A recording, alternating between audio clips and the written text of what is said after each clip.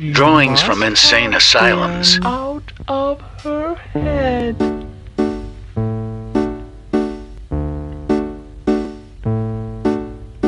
Oh, oh, oh.